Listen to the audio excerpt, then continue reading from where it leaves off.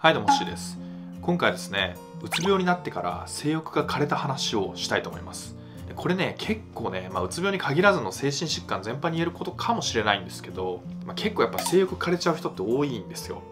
まあ、男性も女性も限らずですね。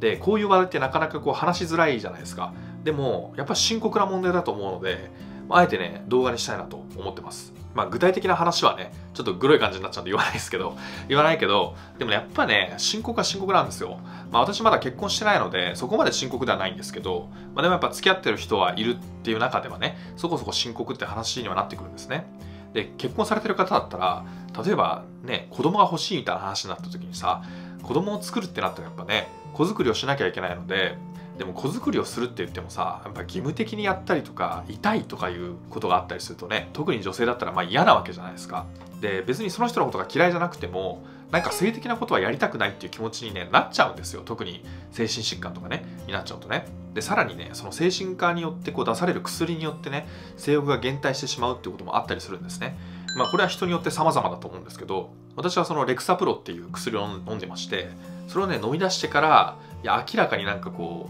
う性的なものに対するエネルギー量っていうのはガクッと減ったんですよ。まあでも生きていく上ではそんなに困らないんでまあいいっちゃいいんですけどただやっぱこうプライドは傷つけられますよね。男ってちょっと単純でバカなとこあるんでなんか性欲が枯れるっていうことは結構ショックなんですよ本当に。それがね必要のないことだとしてもよ。私の自分の生活の中でね性欲って別に必要ないのであの全然どうでもいいことなんですけどでもやっぱ男の子としては結構ショックだなと。いうふうに思いますであとねそのどうでもいいって今言いましたけどでも性欲ってやっぱり三大欲求の中の食欲睡眠欲に比べるとなくても困んないけどないとやっぱりなんかこう仕事に支障が出たりとか生きていく活力みたいなのは失われてしまうんじゃないかなって気はするんですね。やっぱなんかこう仕事うまくいきたいとか、なんでその仕事をうまくいかせたいのかっていう原因を掘っていくとですよ。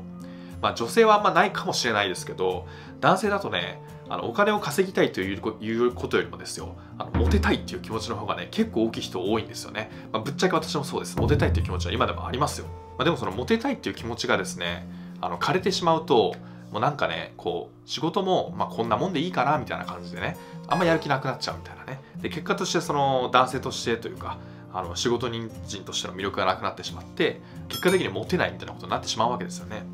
まあ、でも、まあ、性欲ありすぎの問題かもしれないですけど、でさらにね、あの問題、問題というか困るのが、その性欲が落ちてるんですよねっていうことを、お医者さんにちょっと相談しにくいっていう事情があったりするんですね。まあ私は男なのでそんなに困んないですよ。まあ、ただ、精神科の先生が異性だったらちょっと相談しにくいですけどね。まあ私の場合は同性なんでいいですけど、もし精神科の先生がね、女性だって、しかも年齢が近いとか、なんなら私より若いみたいな話になってくるとさ、いくら先生と患者っつってもなんかセクハラになんないかなみたいな、そういうこう、申し訳なさとかが出て言えなかったりするし、で女性の場合だったらさ、やっぱこう、男性の先生にこの性欲の相談ってできないですよね。なんか変な目で見られるんじゃないかとかさ、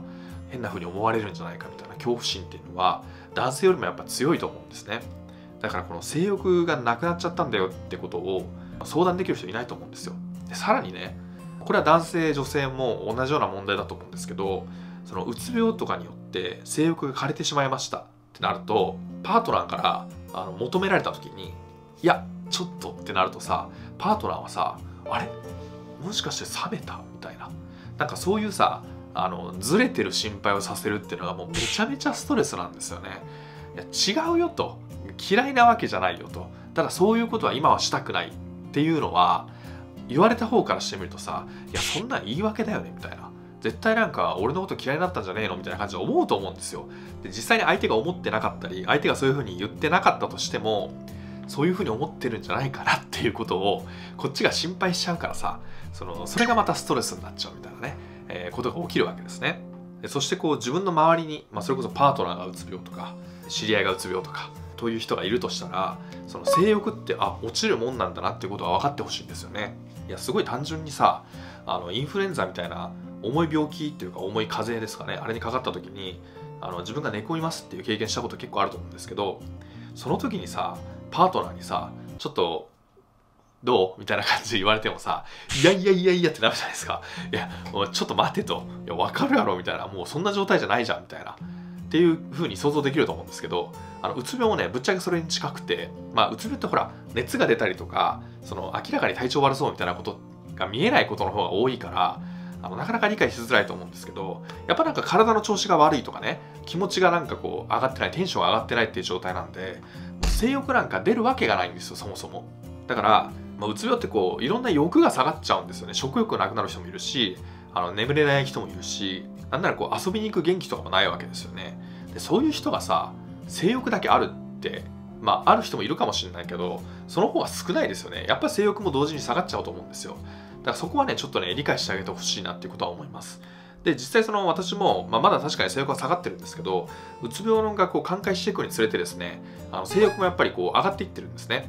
で、まあ、昔ほどねその自分がうつ病になる前までの段階まで性欲が戻るってことはないんですけど、まあ、ただこれはそのねうつ病を治していく段階で年齢も上がっていっちゃうからあの加齢によって下がってるだけなのかもしれないですけどまあでも一般的な男子よりかはちょっと少ないよねぐらいの性欲エネルギーまでは回復してるんじゃないかなとは思ってます。なのでその性欲っていうのは確かにその回復はするけどうつ病の治療中はやっぱり少ないよってことは当事者はあの分かっておいた方がいいと思うしその当事者の周りにいる人もねあの特にパートナーの人はそうだと思うんですけどあそういうこともあるんだなっていうことは改めてねちょっと理解してほしいなと思って、まあ、ちょっと話しづらい内容だったんですけどいやだってさあのうつ病になって性欲変えたんですよねみたいな私の話なんかどうでもいいじゃないですかぶっちゃけね。どうでもいいからちょっと話しにくかったんですけどただその私もそういう経験があるからきっと同じような同じようにうつ病を抱えてる人もねその性欲が下がってるってこともあると思うよってことが言いたいわけですよ。実際いろんな私の話を聞いたりとかあのコメントにそういう風に書かれてることもよくあるし Twitter でさ性欲下がるよねみたいなこと書いたらめっちゃ共感されたっていうエピソードもあるから、まあ、割と私はみんなそうなんじゃないかなと思ってねあの今回動画にしました。今回はこんな感じでありがとうございました。